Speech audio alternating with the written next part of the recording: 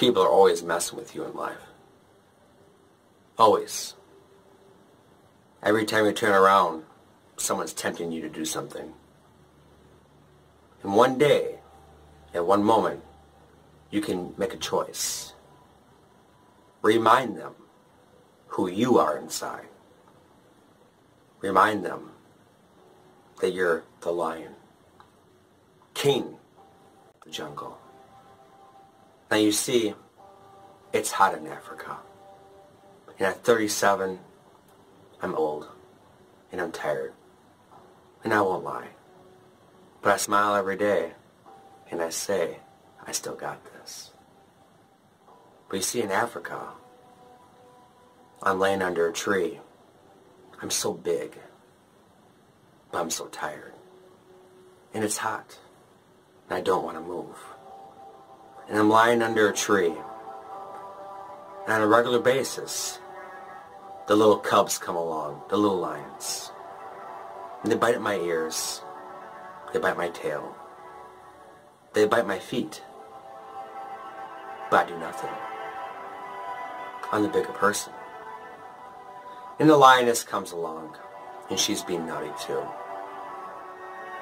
She messes with me. But I do nothing. Again, I'm king of the jungle. Protector. And all the animals, they take notice. And they say, wait, he's doing nothing. So they get bolder and bolder. They get closer. And the hyenas and the jackals, they bark at me.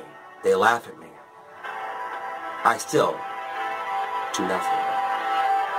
All the while, their guard comes down. They keep getting closer and closer to me. Until one day, until one day, I get up and I tear the shit out of everything. I run like the wind. I eat everything in my path. You see, because at that very moment, and every once in a while, I have to remind the little lions, the jackals, the hyenas, who I really am. I am king of the jungle. You take that, use that in life every single day. Don't you ever forget what you are, where you came from, and most importantly, don't you ever forget where you're going. Because you, after all, are king of the jungle.